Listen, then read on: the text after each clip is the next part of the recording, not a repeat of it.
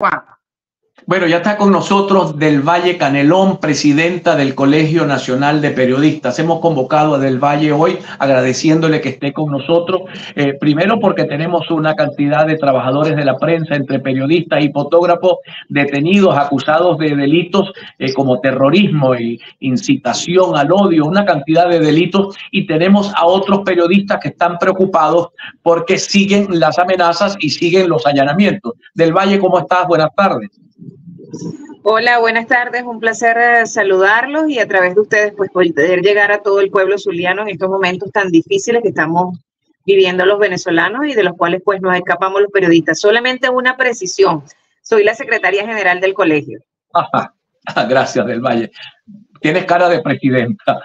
Coméntanos un poco tus apreciaciones ya como secretaria general del gremio que eh, alberga a los periodistas venezolanos lo que está pasando con la prensa en este país?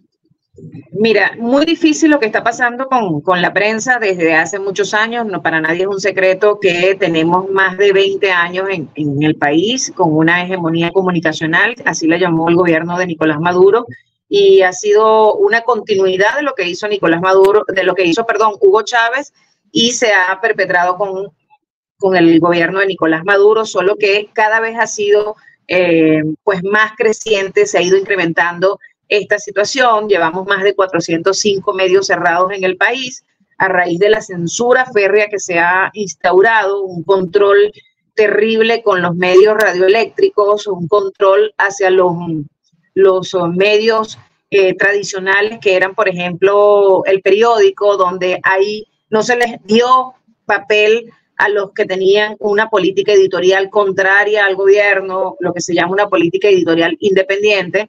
Y bueno, tenemos hoy como resultado que tenemos una sociedad cada vez más desinformada, una sociedad que no sabe lo que pasa en el país, que tarda, puede tardar hasta días para enterarse de algún hecho noticioso. Las redes sociales, aunque informan, también desinforman.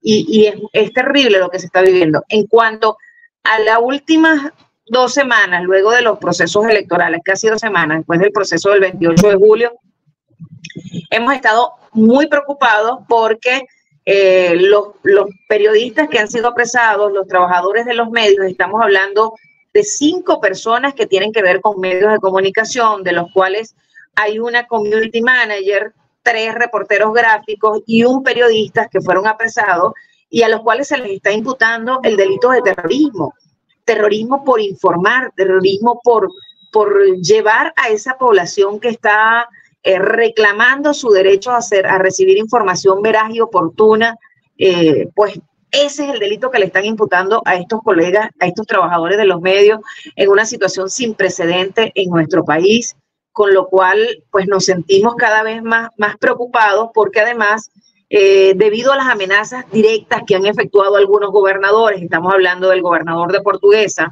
del gobernador de Trujillo y del gobernador de eh, pues el estado de Yaracuy, han cerrado medios. Tenemos el caso, por ejemplo, en Portuguesa, del diario que, cerró, tenía a cumplir 25 años informando y por resguardar la integridad de sus periodistas, de sus trabajadores, quienes sienten temor por seguir informando, pues decidió cerrar y vemos lo que le pasó al diario Versión Final, que, que por orden de Conatel, el sitio digital que tenía desde que, que abrió sus puertas, fue también bloqueado y, y, contrario al diario Última Hora de Portuguesa, que decidió cerrar las puertas por su integridad.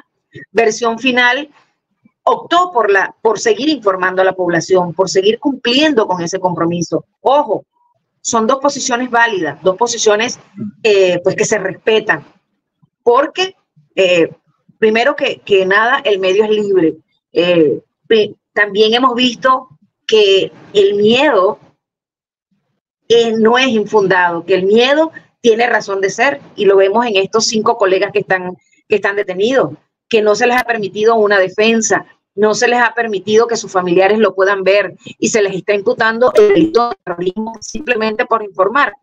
En estos momentos no es momento de estar señalando a ningún colega, a ningún medio de comunicación la situación que se vive en Venezuela con el tema de la libertad de expresión es una situación terrible que no tiene precedentes y que sin duda raya en los principios fundamentales de la democracia, que la mano, la mano derecha, el brazo más inmediato o el apoyo de la democracia es la libertad de expresión.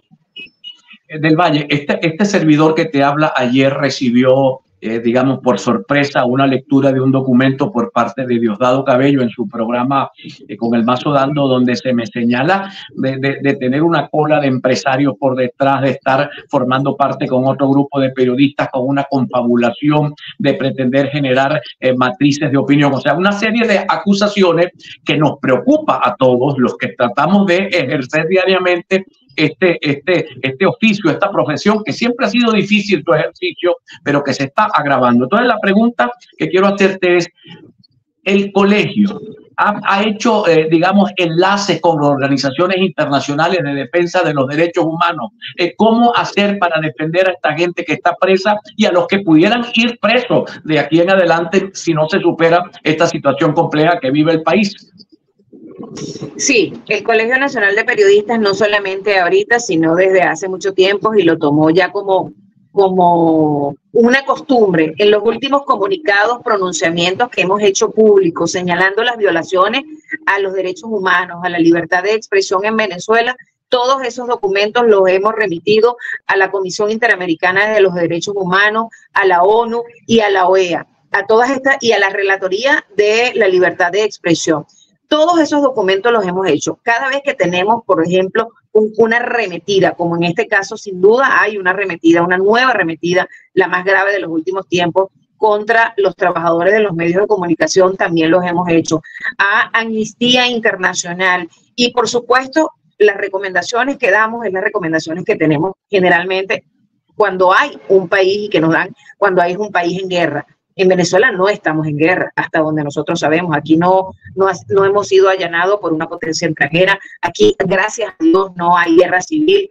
Sin embargo, pues prácticamente los periodistas tenemos que vivir como que si estuviéramos trabajando en una situación de guerra. En la última semana hemos visto, lo vimos aquí en Caracas y creo que ustedes lo han vivido allá en Maracaibo, periodistas que tienen que salir a cubrirse con, eh, pues, con máscaras, con chalecos, o sea, como que si estuvieran viviendo una guerra y cuando hay un cuerpo policial y tú te identificas como periodista, pareciera que los enemigos somos nosotros, que nosotros simplemente estamos allí para informar, para llevar a, esa población que necesita saber, que necesita algo tan básico como tomar una decisión de si salir o no salir de su casa eh, ese día y, y que puede además representar esa información que le puede llegar ese medio de comunicación, ese periodista, pues a preservar su vida. Esto se está negando a la población.